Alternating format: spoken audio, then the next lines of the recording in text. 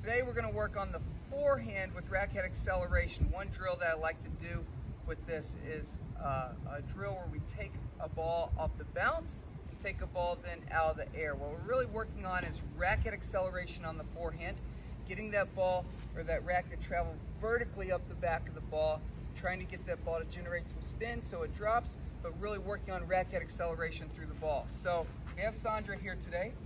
We're gonna take good eight balls here. And Sandra is going to take one ball that's gonna bounce and the next one that's out of the air. So real quick, one ball that's gonna bounce and then one that's out of the air. So right there, those are the two balls that we're gonna do. Typically, I like to go eight ball sets with this. So we would go eight ball sets, one bouncing, one out of the air, but working on impact and racket acceleration. One great thing about this drill is it really eliminates a lot of backswing. She doesn't have a lot of time to recognize the ball on the other side, to look at the other side. She has to eliminate the backswing and vertically accelerate up the back of the ball. Short, air, bounce,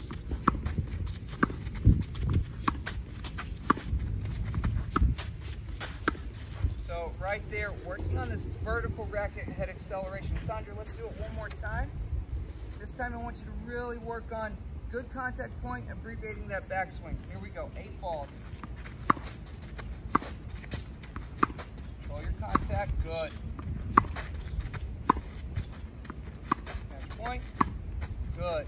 And that ball is dropping in. Look forward to seeing you next time. Make sure you like and subscribe. And thanks for watching.